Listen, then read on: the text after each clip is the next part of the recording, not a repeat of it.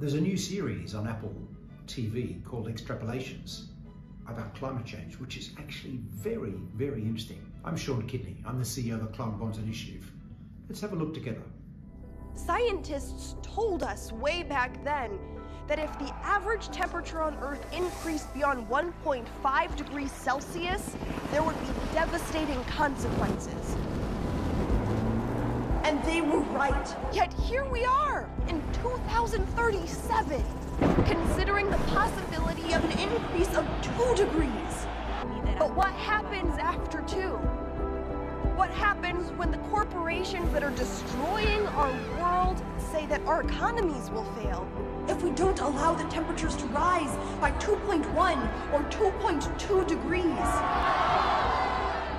Unfortunately, the IPCC has indeed been saying since 1988 that we're going to see temperatures of 1.5 to 2 degrees if we don't take drastic action.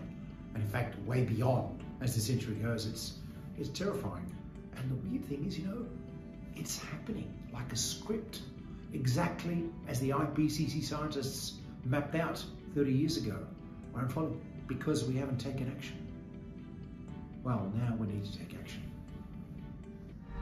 Germany and Italy are losing crops to drought and infestation.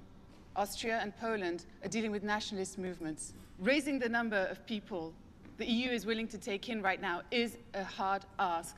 We need to focus on temperature. So where do you suggest we tell our people to go? They have no water. I think we'd all prefer to solve the problems that make people leave their homes in the first place. Agreed. The goal here is consensus on temperature. Keeping it below 2 degrees is critical. If the temperature goes up 2 degrees or 10 degrees, it doesn't matter if you have no water. We're willing to support certain proposals related to temperature and carbon, as long as our basic needs are guaranteed. Can you elaborate on the term basic needs?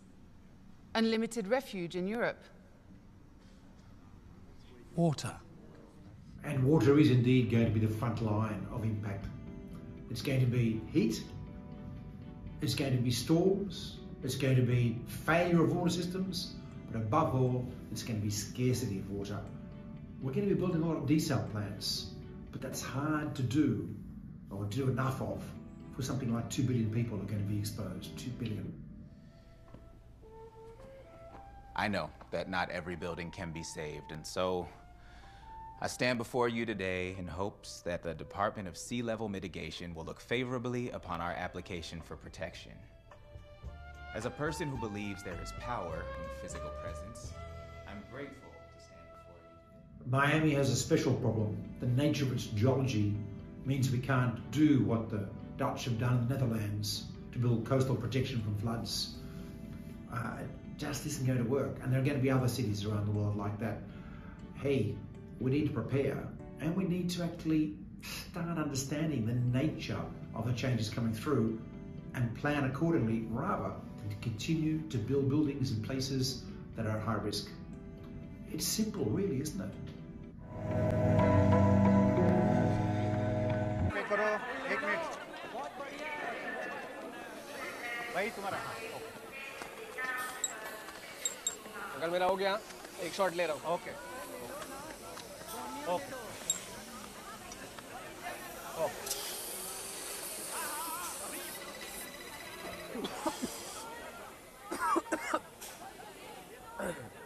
Mumbai is an exciting, vibrant, dynamic city, full of hustle and bustle and incredible innovation, and one of the most exposed big cities in the world to floods, to storms, to typhoons, to air pollution, to all sorts of things.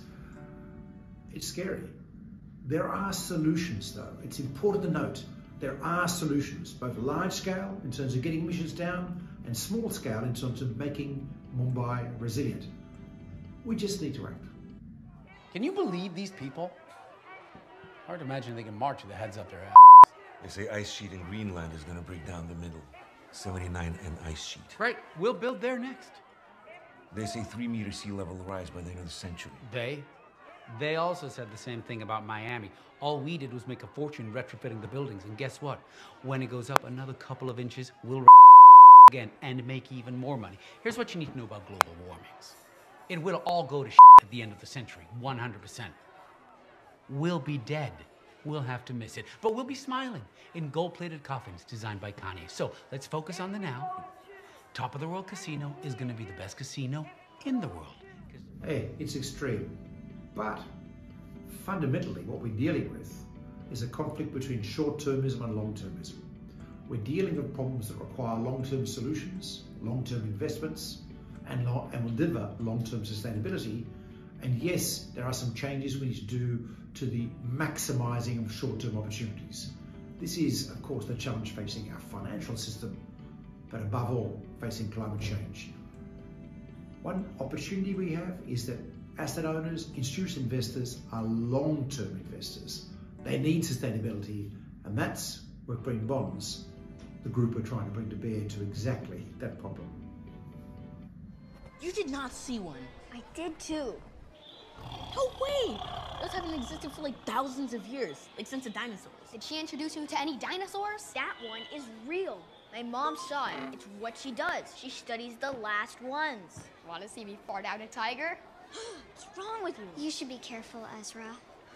Yeah, liar. Red means dead. My mom knew that tiger. She did. The world made you sick. Because we made the world sick. Welcome to Winter Chill, the best immersive therapy for heat related conditions. Come on, Ref. Why can't I play? Sorry, buddy. Looks like you had a bit of an episode today at school. Heat is going to be the defining risk issue in cities going forward around the world. How to avoid extreme heat, how to build an urban environment that can give us refuge in these waves of heat that will come through, combined with lack of water. Yikes, it's painful when you see a good, a good story like that. Watch the whole series. It's um, it's chilling. By the way, don't get too depressed because it's important to understand we still have solutions. It's just a matter of acting. It's exciting roller coaster we can get going on to act, but we need to act with speed and alacrity to avoid the worst of the future you're seeing.